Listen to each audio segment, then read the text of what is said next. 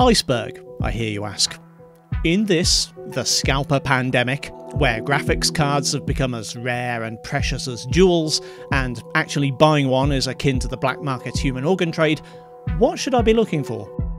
Well, that's an excellent question. It just so happens I have a playlist of graphics card benchmarking videos for you to peruse, link in the doobly doo.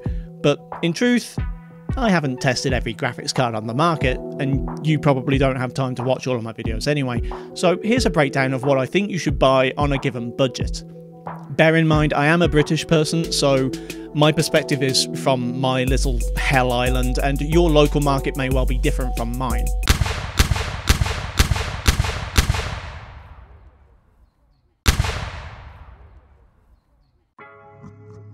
If your budget is this low, my usual recommendation is to stick to zero and save your money. Use whatever you're using now to game with, be that an older card, an integrated GPU, or a cloud gaming service, until you can afford to move up to the next bracket. If you know you're never going to be able to afford or justify spending more than £50 on a used graphics card, however, I have a few thoughts. First is the old workhorse, the R9 270. Now, there are a ton of variations on this card, so when I say R9 270, I'm also thinking of the HD 7850 and R7 370, but also the higher spec HD 7870, R9 270X, and R9 370. Whichever one you get, you can see from my videos on them that they can play the majority of games that aren't DirectX 12 exclusives, so sadly no Assassin's Creed Valhalla or Dirt 5. Although prices have gone up a little in the last 12 months, it should still be possible to find one within the £50 price range. Some, like the HD 7850, are available in 1GB variants, which you should probably avoid. The later 300 series models are available in 4GB versions, which are preferable, but probably not worth spending over the odds to get. On the other hand, if you're lucky, you might find one of my surprise stars of 2021, the GTX 670, for under £50. This card is significantly more powerful than the R9 270 and is in fact closer to the R9 280 series in several games, though it still has the same issues with aging drivers and lack of modern API support that the AMD card has. If they're closer to the same price, you should definitely consider the GTX 670 over the R9 270. This is the first price bracket where it becomes possible to get a gaming card that is fully DX12 capable, and the best cards for that will be either the RX 460 or GT 1030. The 460 is the superior card, but I've seen prices starting to creep up on them lately to the point where I might recommend saving for something better instead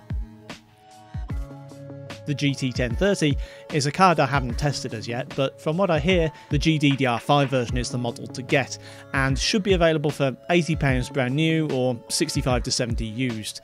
Be careful what you buy, as retailers aren't very good at advertising which memory type a given card has. In the realm of older cards, my personal favourite of late has been the Nvidia Quadro K2200, a 4GB workstation variant of the GTX 750 Ti, available for between £75 and £90 on eBay. Being a workstation card, it does default to using the studio drivers, which isn't really a disadvantage these days. I actually use studio drivers with my RTX 3070. Although this Maxwell 1 card is compatible with the latest APIs, its Vulkan support is a bit sketchy, so isn't great for games like Doom Eternal. If driver and API support isn't critical to you, and be sure to check your favourite games first before you commit to anything, you might be able to pick up a card from the R9 280 family for this price. Sadly, the last few months have seen prices creep up over £100 on these cards, by which point I have other recommendations. This price bracket is still populated by mostly obsolete cards these days, in my opinion, a £140 budget should get you an RX 470 4GB or GTX 970, but the reality of it is that these cards have all jumped into the next bracket now. You should, with any luck, be able to pick up one of the 2012 or 2013 flagship cards for this kind of price. A GTX 780 Ti or R9 290 should be within reach, though you might have to put some offers in or bid on some likely looking auctions. The 780 Ti is the cheapest of the bunch, going for 100 to 120 pounds, and thanks to its lack of DX12 support and 3 gigs of VRAM, it should only be on your list if you can't find an R9 290 or 290X for the right price.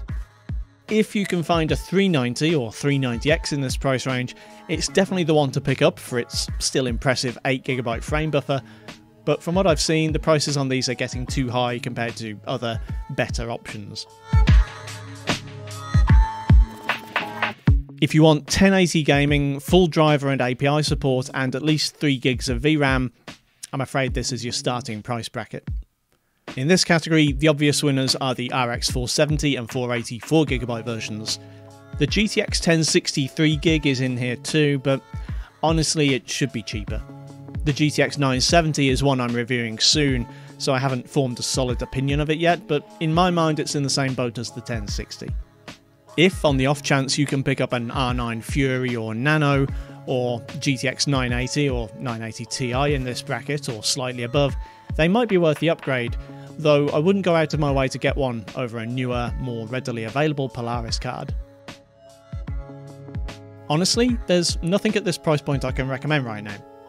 On the new market, you can pick up a GTX 1650, but that card will underperform a used RX 470, so unless you have limited space in your PC or you refuse to buy second hand, this probably shouldn't be on your list.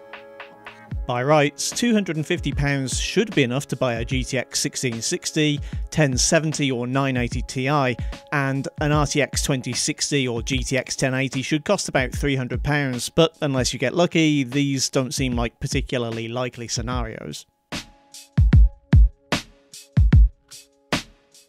I can't recommend anything above this price in the scalper pandemic, but I know people will want to buy something. In that case, Rather than telling you what to buy, I'm going to suggest some cards you should leave well alone, especially at their current prices. The RX 570, 580, and 590, particularly the 8GB cards, have leapt in price.